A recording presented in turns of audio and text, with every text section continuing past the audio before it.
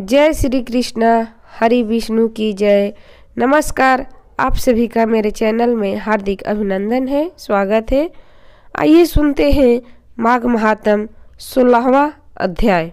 श्री नारायण बोले, हे महाप्राज्ञ, हे नारद, वाल्मीकि, ऋषि ने जो परम अद्भुत चरित्र दृंध धनवा राजा से कहा, उस चरित्र को मैं कहता हूँ, तुम सुनो। वाल्मीकि ऋषि बोले, हे ड्रिन धनवा हे महाराज, हमारे वचन को सुनिए। गरुड़ जी ने केशव भगवान की आज्ञा से इस प्रकार ब्राह्मण श्रेष्ठ से कहा।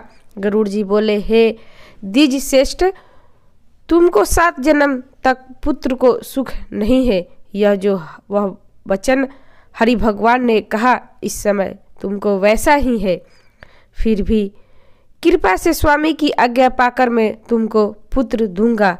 हे तपोधन, हमारे अंश से तुमको पुत्र होगा, जिस पुत्र से गोमती के साथ तुम मनोरथ को प्राप्त करोगे, किंतु उस पुत्र से होने वाला दुख तुम दोनों को अवश्य होगा।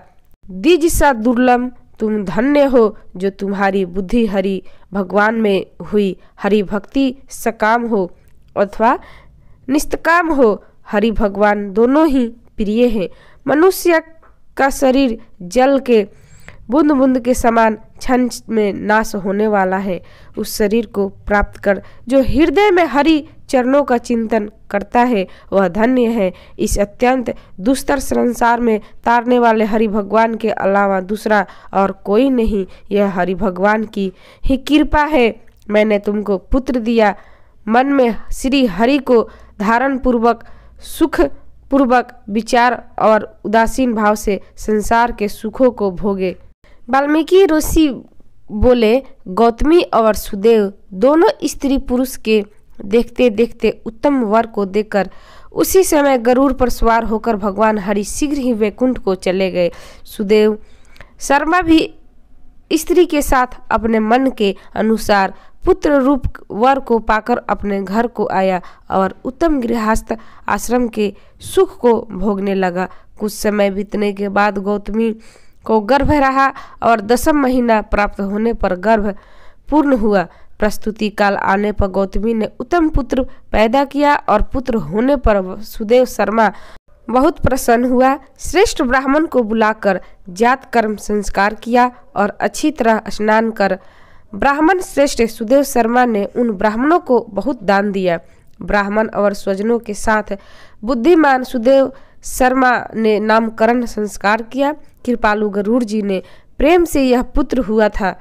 शरतकालीन चंद्रमा के समान उदय को प्राप्त तेजस्वी, यह सुख के सिदृश्य है।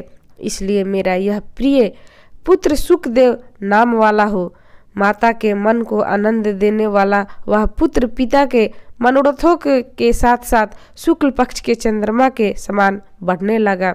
पिता ने हर्ष के साथ उपनयन संस्कार कर गायत्री मंत्र का उपदेश दिया। बाद वह बालक वेद आरंभ संस्कार को प्राप्त कर ब्रह्मचार्य व्रत में स्थित हुआ। उस ब्रह्मचर्य के तेज से युक्त बालक, साक्षात दूसरे सूर्य के समान शोभित हुआ। बुद्धि सागर उस बालक ने वेद का अध्ययन प्रारंभ किया। उस गुरु वत्सल बालक ने सद्बुद्धि से अपने गुरु को प्रसन्न किया और गुरु के एक बार कहने मात्र से समस्त विद्या को प्राप्त किया। वाल्मीकि ऋषि बोले, एक समय कोटि सूर्य के समान प्रभाव वाले देव ऋषि आए उनको देखकर हर्ष से सुदेव शर्मा ने दंडवट प्रणाम किया। अर्धपाद आदि से विधि पूर्वक उन देवल मुनि की पूजा की और महात्मा देवल के लिए आसन दिया। अति तेजस्विनी देवदर्शन देवल ऋषि उस आसन पर बैठ गए। बाद अपने चरणों पर बालक को गिरे हुए देखकर देवल ऋषि बोले, देवल मुनि, बोले, अहो, हे सुदेव तुम धन्य हो, तुम्हारे ऊपर भगवान प्रसन्न हुए, क्योंकि तुमने दुर्लभ, सुंदर, श्रेष्ठ पुत्र को प्राप्त किया है। ऐसा विनित, बुद्धिमान, बोलने में चतुर, वेद पाठी और सिलवान पुत्र कभी भी किसी के यहाँ नहीं देखा।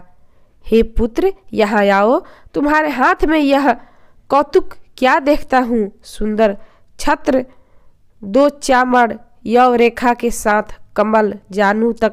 लटकने वाले हाथी के सूंड के समान ये तुम्हारे हाथ। कान तक फैले हुए विशाल लाल नेत्र शरीर गोल आकार का तिरवली से युक्त पेट है।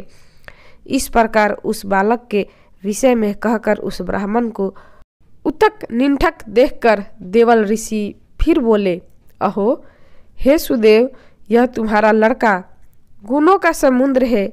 कंधा और कोह का संधि स्थान गुड़ है।